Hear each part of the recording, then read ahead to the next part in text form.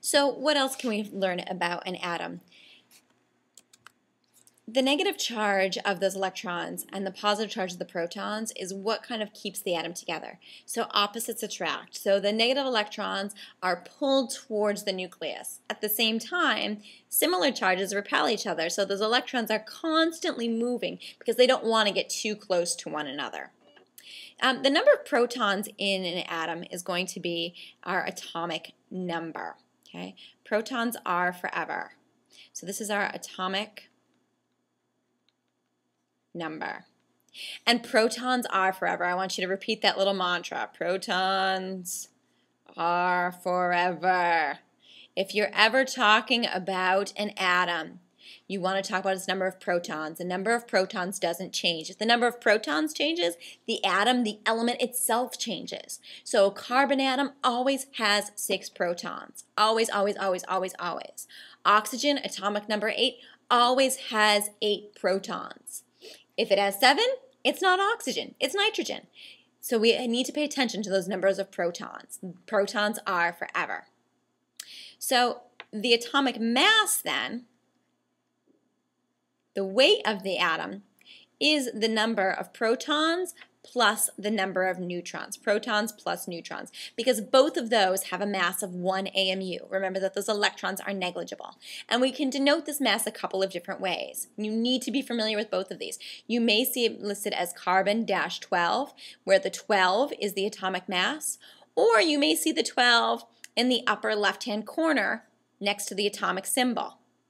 If you see that, you should also note that the atomic uh, mass is 12. But if protons are forever, what's the deal with carbon-14? Here it is. Protons don't change. So if now in carbon-14, what's my mass? Mass is protons plus neutrons, and protons are forever. A mass of 14 equals 6 protons plus how many neutrons? 8. Neutrons are not forever and neutrons can change, and we call this an isotope. An isotope has the same number of protons, but it has different numbers of neutrons. So what property is going to look different? The atomic mass. If you see the atomic mass being different, that's a tip-off for you that we're talking about an isotope, and we have a different number of neutrons. Again, to calculate it, we just want to take the atomic mass, the atomic mass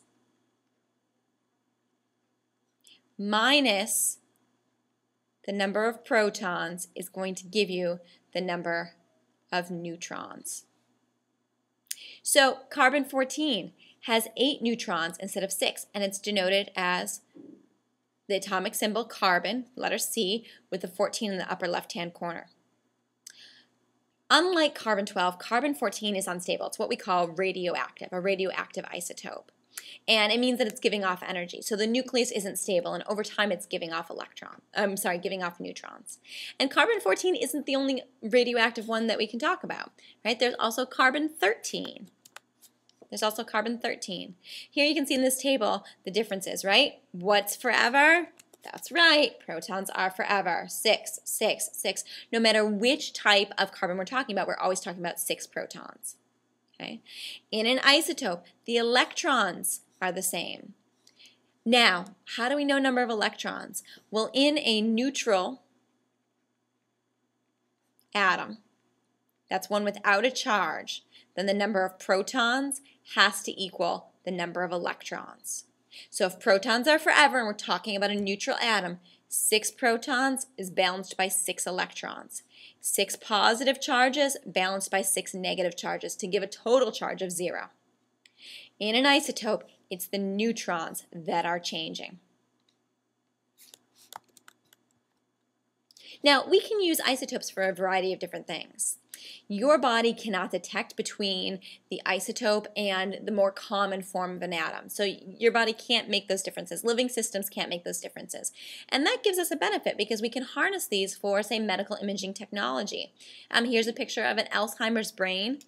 versus a non-Alzheimer's brain as detected through radioactive imaging using radioactive isotopes. So it gives us an idea and an ability to compare the way different living systems are interacting. Now, isotopes do have some drawbacks, right? Exposure to extreme radiation can lead to cancers and damage DNA and lead to different mutations. So it's important that we limit our exposure to radioactive um, isotopes and radioactivity in general. Now, if we're talking about chemical bonding and talking about what's really going on, we really need to focus on the electrons. It's the electrons that are involved in chemical activity. And these electrons exist in energy levels called electron shells. And the electron shell that we're most interested in for bonding purposes is the one in the outermost electron shell. So if you check out the periodic table, there's an interactive periodic table listed here, um, which I find really useful. We can see all of our different elements here, and you can choose different properties that you want to focus on. So the periodic table allows us to predict kind of the behavior of electrons. For our intents and purposes, we're going to talk about the first two to three energy levels that electrons can be found in.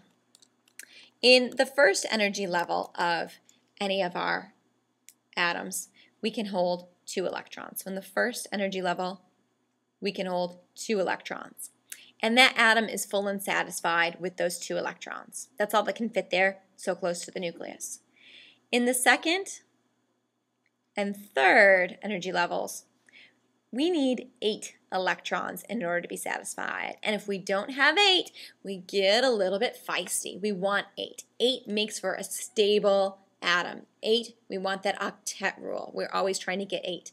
And atoms are willing to do whatever they need to do to get eight. They may steal electrons from another atom, they might share electrons from another atom, or they might give their own electrons away. Whichever way is going to be the path to least resistance, they're going to do to get that stable number. So stealing and sharing happens and we form ionic bonds, and that tends to happen between unequally matched partners. Covalent bonds or sharing of electrons tends to happen between partners who are pretty equally matched in terms of their strength. And by strength, I mean the number of electrons in their outermost energy level and their electronegativities, which we'll talk about in just a moment.